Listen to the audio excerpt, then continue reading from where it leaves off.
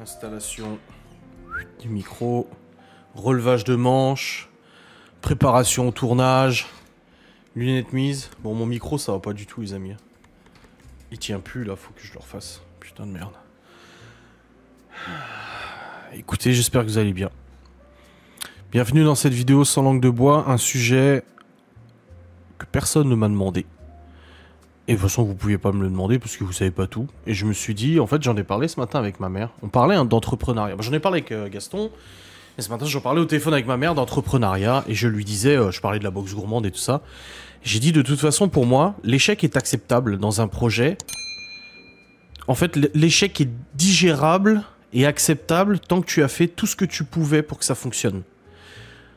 Et du coup, je lui ai rappelé euh, certains, des, certains projets que j'ai eu par le passé, où ça fait 20 ans que je suis entrepreneur. Alors quand je dis ça fait 20 ans que je suis entrepreneur, c'est pas pour dire oh, le mec, un mec à succès. Non, pas du tout. Ça fait 20 ans que euh, je suis à mon compte et que je fais diverses choses et tout ça. Des business différents à chaque fois. Mais ça fait 20 ans que euh, j'essaie d'imaginer de créer des projets et tout ça. Plus ou moins fonctionnels et tout. Mais je disais à ma mère, tu vois, le truc, on parlait de la boxe gourmande, là, ce mois-ci, il est possible que ce mois-ci, on fasse notre meilleur chiffre d'affaires depuis le début de l'entreprise. On verra, mais en tout cas, c'est très bien parti pour que ce soit le cas. Mais je dis à ma mère, tu vois, euh, pour moi, de toute façon, la réussite ou l'échec d'une entreprise, c'est bien. la réussite, c'est bien, mais l'échec aussi, ça peut être bien, dans la mesure où ça permet de ne pas reproduire les mêmes erreurs. Et de toute façon, pour moi, l'échec d'un projet, d'une entreprise ou d'un projet, hein, parce que tu as des projets dans une entreprise, à l'intérieur même d'une même, même boîte, c'est pas grave, en fait échouer, ce n'est pas grave tant que tu as fait tout ce que tu pouvais pour que ça fonctionne. Vous voyez, par exemple, ma société que j'ai eue en Suisse avec mon ancien associé, j'ai vraiment merdé de ouf. Et je garderai toujours ça dans ma tête en me disant j'aurais pu mieux faire, clairement. J'aurais pu largement mieux faire. Mais il y a d'autres choses aussi que j'ai fait qui, indépendamment de ma volonté, n'ont pas pu continuer. Et c'est ok. Ce que je disais à ma mère, moi je suis ok d'échouer. Si, ouais, si dans 6 mois, 1 an, 2 ans, la boxe gourmande, ça échoue, il est important de se dire, ça a échoué malgré le fait qu'on ait fait tout ce qu'on pouvait pour que ça fonctionne. Super important. Et du coup, je voulais rétrospectivement vous parler d'un projet que j'ai eu il y a de cela une dizaine d'années à peu près. Alors comme vous le savez, quand je suis revenu euh, vivre euh, en Lorraine et tout ça, euh, j'avais dans ma tête plusieurs projets de sites internet, dont un site internet de bons plans pour ceux qui, qui sont au courant, qu'on connu ou machin, site internet où tu pouvais gagner de l'argent et tout ça en remplissant des pubs, des machins et tout ça. On était plusieurs sites comme ça. Sauf que dans, dans, cette, dans, ce fonctionnement, une communauté assez importante s'est créée. Et moi, curieux, j'ai regardé un petit peu euh, les habitudes des gens sur Internet. Voilà, si tu fais un peu une étude de, comportement, une étude de marché, hein, comme quand tu ouvrir un, un business, t'ouvrir un business, putain, je parle plus français, comme quand tu ouvres un business et tout. Et je me suis rendu compte qu'il y avait des marchés à prendre. Je me suis rendu compte qu'avec le business model que j'avais mis en place, avec la structure euh, de gestion que j'avais mis en place, il était possible, avec mes compétences en tout cas limitées, mais tout de même là d'informatique ou de développement, de pouvoir en fait proposer d'autres sites internet que le site internet que j'avais de bon plan. Et c'est pour ça que je m'étais renseigné et j'avais vu qu'il y avait un site internet euh, qui faisait à l'époque, euh, qui utilisait un système et qui pouvait rapporter quand même beaucoup d'argent et qui pouvait aussi rapporter de l'argent aux gens.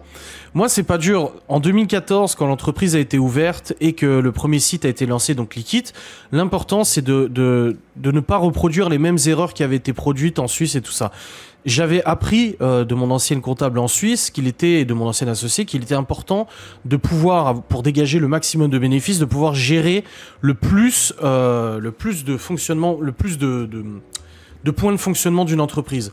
On m'avait dit, c'est comme une triangulaire.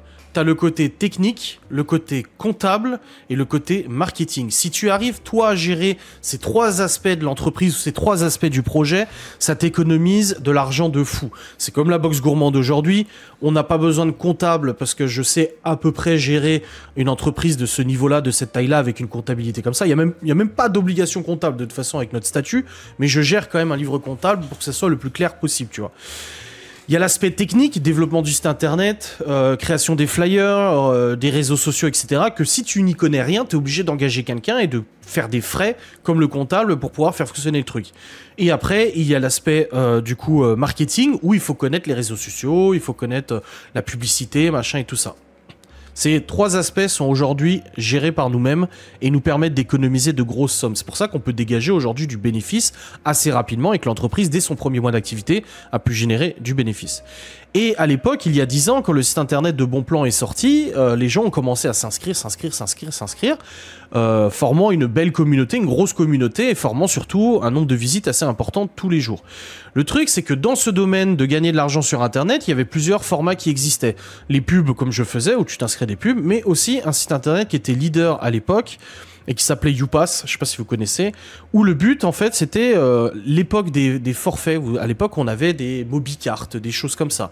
Et il était possible avec son téléphone d'appeler des numéros euh, surtaxés pour récupérer une partie de l'argent. Donc en gros je vous explique.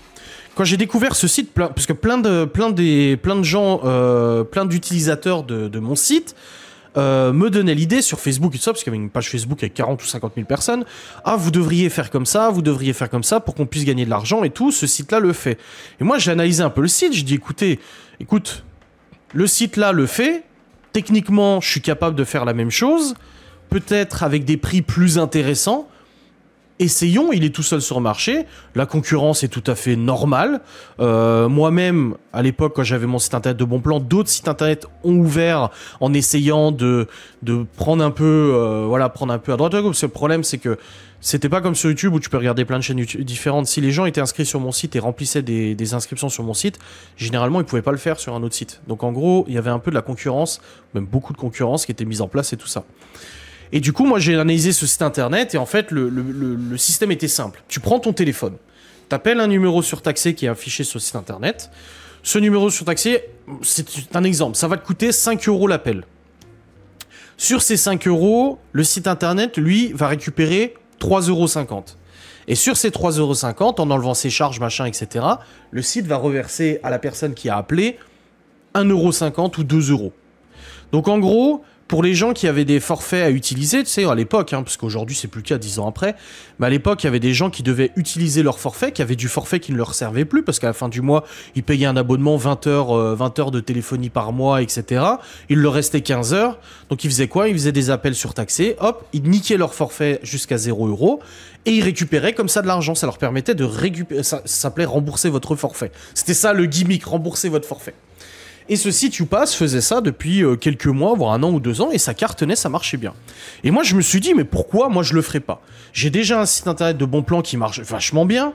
Euh, les gens sont en demande de ce genre de service. On a déjà la confiance des gens pourquoi ne pas lancer justement un site internet concurrent en utilisant les mêmes méthodes? Donc j'ai bossé pendant plusieurs semaines, voire plusieurs mois, à développer un nouveau site internet, à essayer euh, d'analyser un peu comment ça marchait. C'est un marché que je ne connaissais pas, donc j'ai dû contacter des fournisseurs, j'ai dû me renseigner comment euh, ce site internet faisait pour se fournir des numéros surtaxés, dans quel pays, quelles conditions, etc., etc.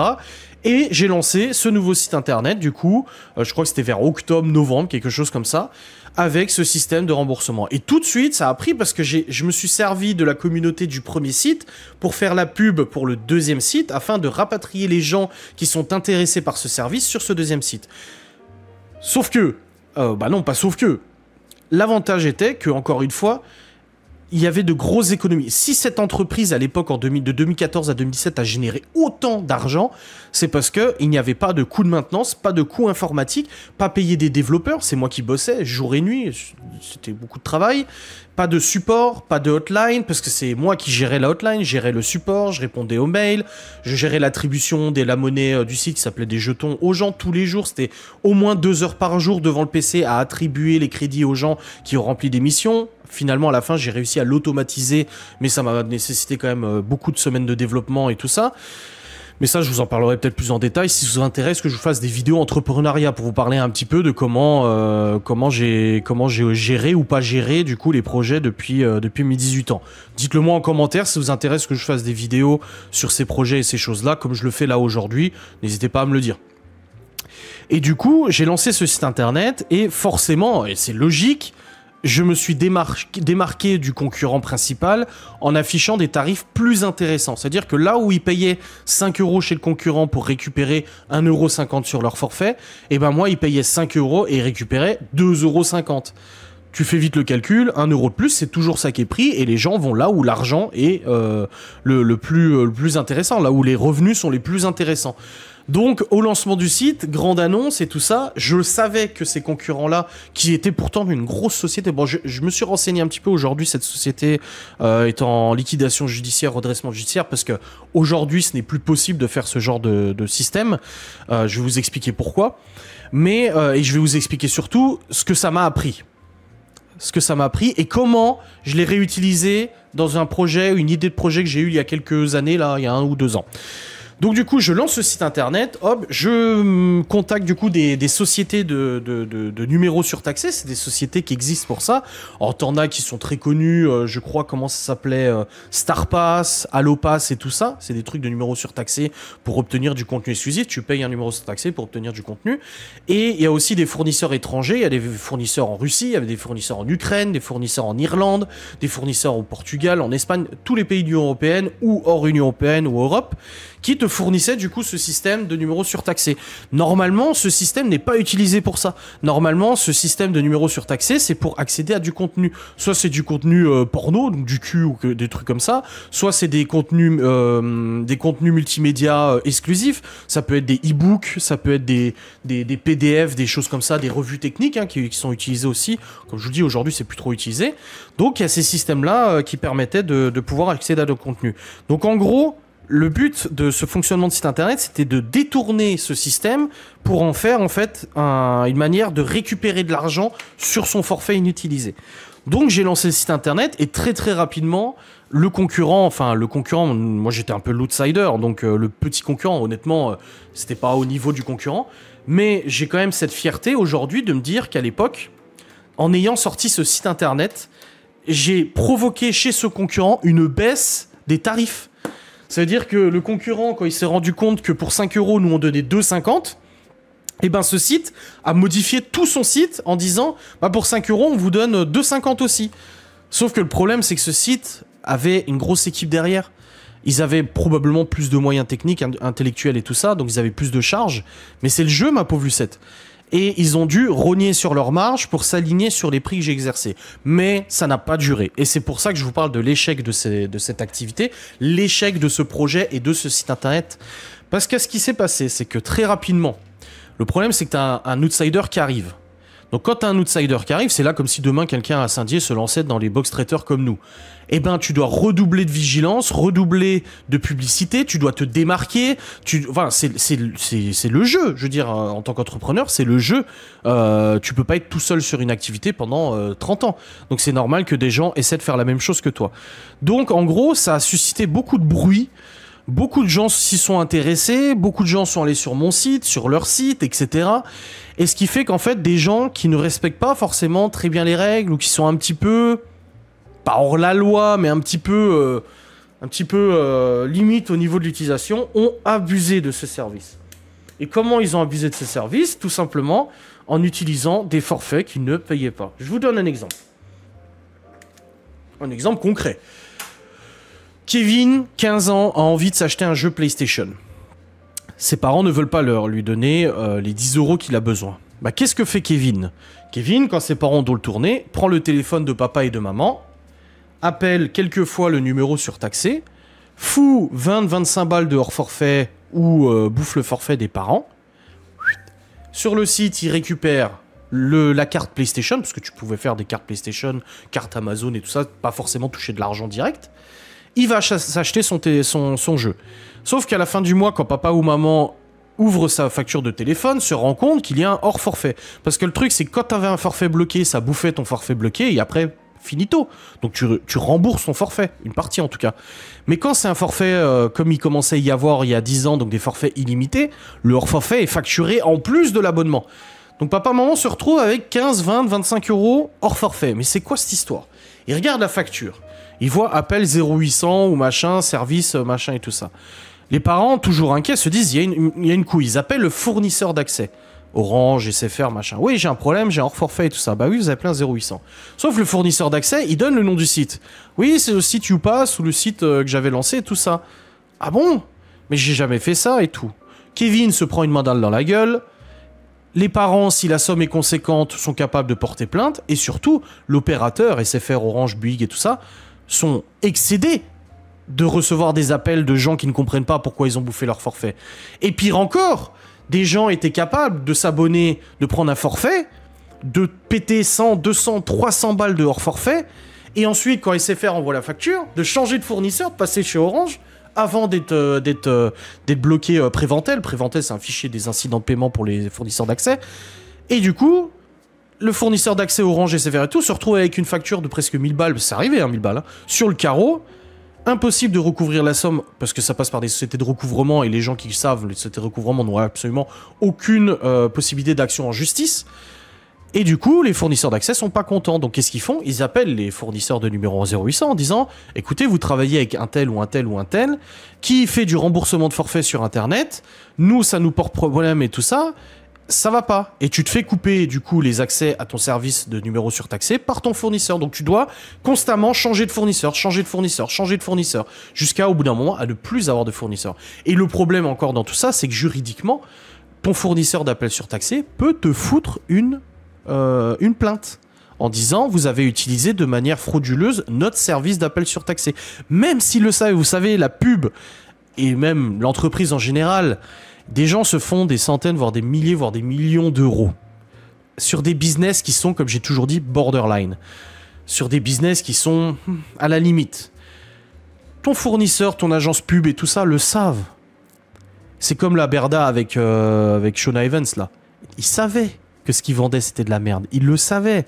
Moi j'ai parlé avec euh, un des responsables de 8 Events à l'époque, euh, je sais plus euh, comment il s'appelait le, mec là, Wesley et tout ça. Parce qu'ils avaient voulu bosser contre l'exclusivité, tout ça. Ils savaient. Moi quand j'ai reçu les produits de cette société 8 Events, là qui ont fait Dicky Cosmetics, machin, j'ai reçu un colis une fois à Châtel. Et je vois ça, je vois les produits, tout ça. Et je dis mais c'est de la marque blanche ces produits. Je contacte la boîte, je dis non mais c'est de la marque blanche. Ouais mais c'est pas grave, faites-en la promo, vous êtes même pas obligé de le tester, faites juste la promo. À telle date, euh, à telle date, à telle date. Mais non en fait, parce que la marque blanche c'est quoi? C'est une usine de production, c'est un produit, et en fait il y a juste au bout de la chaîne un truc qui change, c'est le logo qui est collé sur le carton et tu te retrouves avec des produits AliExpress, Temu, machin, bon Temu n'était pas là en ce temps-là, AliExpress, machin et tout ça, et en fait tu retrouves le même produit avec une marque différente à chaque fois. Et qu'est-ce que faisait We, Events, euh, cette société de cette agence d'influence, comme Shona Events, hein, c'est les mêmes, et ben en gros ils achetaient la marque blanche, ils mettaient leur marque à eux dessus, We Events ou une marque qu'ils ont inventée, et ils leur vendaient 40-50 balles sur internet, alors que ce produit tu le retrouvais sur AliExpress. C'est pas comme le dropshipping, le dropshipping c'est différent. La marque blanche, je dirais pas que c'est plus honnête que le dropshipping, mais la marque blanche, au moins le produit long. Mais du coup, on sait que c'est borderline. On sait que c'est limite au niveau juridique. Mais tant que ça fait de l'argent, tout le monde est content. Mais le jour où la justice s'en le jour où il y a des gens pas contents, oh non, moi j'étais pas au courant. Donc les fournisseurs de numéros surtaxés, pour revenir là-dessus finalement, les fournisseurs de numéros surtaxés, quand ils ont commencé à réellement être emmerdés par les fournisseurs d'accès, donc euh, Orange, Big, machin et tout ça, ont commencé à faire genre, ah non, vous utilisez notre système, et ils le savaient. Donc moi j'ai très vite vu le truc. Honnêtement, ce site internet a dû rapporter 3-4 000 euros de bénéfices. C'est tout. Pas plus, c'est déjà beaucoup. Mais pour, un projet, un site internet, c'est pas beaucoup comparé à l'autre site internet euh, qui faisait les bons plans. Donc 3-4 000 euros de bénéfices et j'ai très vite arrêté. J'ai très vite fermé ce site internet. En tout cas, j'ai arrêté ce système de remboursement de forfait parce que j'ai vu le truc venir. Je l'ai senti venir. Je me suis dit, on va se retrouver avec une plainte au cul des fournisseurs d'accès, on va se retrouver avec des problèmes. Il faut arrêter. Alors forcément, quand tu gagnes de l'argent, ça t'emmerde d'arrêter. Mais au bout d'un moment, il faut juste être réaliste et se dire, bon, faut pas non plus déconner. Et cet autre site internet, lui, a continué à changer un peu son système, à créer ses propres hotlines de numéros surtaxés. Ils avaient les moyens d'investir, ils avaient des, budgets de recherche et développement. Et aujourd'hui, bon, bah, en 2024, bon, c'est depuis 2020, le site tourne plus. Et apparemment, de ce que j'ai vu, il y a une procédure collective en cours contre eux. C'était prévisible l'internet, le, le, marketing, le business sur internet évolue tellement vite que des fois des projets, des business fonctionnent pendant 1, 2, 3, 4 ans et après ça passe à autre chose. C'est comme YouTube. Regardez les vlogs famille en 2017, 2016, 2018, ça cartonnait de ouf. Ça cartonnait de ouf. Aujourd'hui, non, c'est plus comment Ghost c'est pareil. Les enquêtes paranormales de 2017 à 2020, 2021, voire ça cartonnait de ouf. Aujourd'hui, il y a tellement de gens sur TikTok qui font des enquêtes en live un peu bidon et tout ça que les gens préfèrent avoir du contenu tout de suite. Ils préfèrent regarder des enquêtes en live que, que se poser devant leur canapé pendant une heure et demie, deux heures à regarder une enquête comme ça, tu vois. Les gens sont plus aussi nombreux. Mais c'est comme ça, c'est normal, l'internet va vite, les, les, habitudes des gens vont vite et tout ça. Donc j'ai décidé d'arrêter ce site internet au bout de 2-3 mois d'activité. J'ai laissé le concurrent tout seul, donc lui il a remonté ses tarifs. De toute façon, il a dû mettre en place d'autres systèmes qui lui coûtaient plus cher, donc c'était plus aussi intéressant. Et après la suite, bah, je vous l'ai dit, hein, ils ont aujourd'hui fait faillite et tout, mais c'est pas étonnant. Encore une fois, c'est le business qui est comme ça. Donc, en résumé, je trouve que pour ce site internet, j'ai fait tout ce que je pouvais. J'ai fait un site internet, je me suis renseigné, j'ai contacté les fournisseurs, j'ai développé des codes, j'ai codé plein de trucs. Enfin voilà, j'ai fait tout ce que je pouvais pour que ça marche. La pub derrière, auprès des autres réseaux sociaux, des pages Facebook et tout ça. J'estime, dix ans après, que j'ai fait ce que je pouvais. Mais si ce site s'est arrêté, si je l'ai arrêté, c'est parce que quelque chose indépendant de ma volonté a fait que j'ai dû arrêter. La connerie des gens a abusé de ce système et a utilisé et a fraudé, a utilisé leur forfait outre ce qu'ils pouvaient payer pour euh, gagner de l'argent. Mais aussi les fournisseurs qui tournent le dos en disant ouais mais là ça commence à puer, je préfère plus travailler avec vous. Donc ça c'est indépendant. J'aurais rien à l'époque j'aurais rien pu faire pour sauver ce business. J'aurais rien pu faire. Je n'avais de toute façon pas les moyens financiers de restructurer le site pour moi créer mon propre service d'appel téléphonique, pour euh, s'exempter des fournisseurs.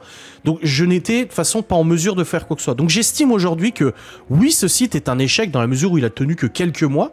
Il a généré un petit bénéfice de quelques milliers d'euros alors qu'il aurait pu générer des, des centaines de milliers d'euros s'il le pouvait. Mais J'estime avoir fait tout ce que je pouvais. Maintenant, il faut enseigner de ses erreurs. Qu'est-ce que j'aurais pu prévoir? Bah, j'aurais pu, avec les. Peut-être pas à l'époque, avec l'époque, avec l'expérience que j'avais en marketing, peut-être pas, mais aujourd'hui, je sais que quand tu lances un projet, quand tu lances une idée, quand tu lances quelque chose, garantis-toi que déjà légalement ça soit pas borderline, que tu sois pas emmerdé, que tu sois voilà, il faut toujours se garantir de plein de choses. Alors je dis pas que je ne commets plus cette erreur, je la, je la commets sûrement encore et je la commettrai encore plus tard, c'est logique. Mais il faut essayer de minimiser le plus possible, de, de, de réduire au maximum ces facteurs de risque. Il y a de cela deux ans à peu près, si vous vous souvenez, je vous ai parlé que j'avais euh, collaboré avec une marque qui vendait des consoles rétro gaming. C'était des petites consoles Mega Drive et tout ça, ou Nintendo ou machin. Et dedans, en fait, c'était un mini ordinateur avec 20, 30, 40, 50 000 jeux euh, vidéo de notre enfance. Donc Mega Drive, Super Nintendo, Nintendo 64, etc. Vous connaissez probablement, tout le monde en parle. C'est les consoles rétro. Les grandes marques comme Sega, Nintendo ont sorti leur propre console rétro version miniaturisée avec leur propre jeu où il y a la, collection de tous les jeux qu'ils ont sortis dans les années 90. Donc tu peux acheter au Leclerc, au, chez Darty, des, des, petites consoles comme ça, où tu peux jouer. Sauf que les consoles dont je vous parlais, c'était une carte mémoire avec 40 000 jeux dedans. C'est-à-dire que dans cette console, tu avais toutes les consoles qui existaient. Sauf que le problème, c'est ce qu'on, c'est quelque chose, ce système, c'est quelque chose qu'on appelle l'émulation. L'émulation, c'est quoi? C'est juste un logiciel qui se fait passer pour une console pour que tu puisses jouer au jeu de cette console. Et moi, quand j'ai bossé avec cette marque, malheureusement, ce site internet a fermé. Et du coup, je me suis retrouvé euh, en me disant, mais je sais plus si j'en avais fait la pub ou pas. J'ai plusieurs abonnés qui m'ont contacté en me disant Ah, c'est l'anniversaire de mon mari ou Noël. Euh, T'avais présenté en vidéo une console rétro gaming. Est-ce que tu pourrais me dire où est-ce que je peux l'acheter? Parce qu'il y a plein de sites, mais je sais pas où je dois l'acheter. Et je vous avais parlé en vidéo. Et, et là, par contre, des abonnés m'ont aussi aidé là-dedans. Je vous ai dit que j'étais en train de me renseigner pour moi fabriquer des consoles rétro gaming. J'avais déjà fait un peu une étude au niveau des coûts. Euh, dans la mesure où c'est, j'ai pas besoin de payer de, de, personnes pour le faire. L'informatique, je le connais, donc je savais comment monter ce genre d'ordinateur, mini-ordi. Je savais où me procurer du coup les boîtiers, où me procurer les manettes.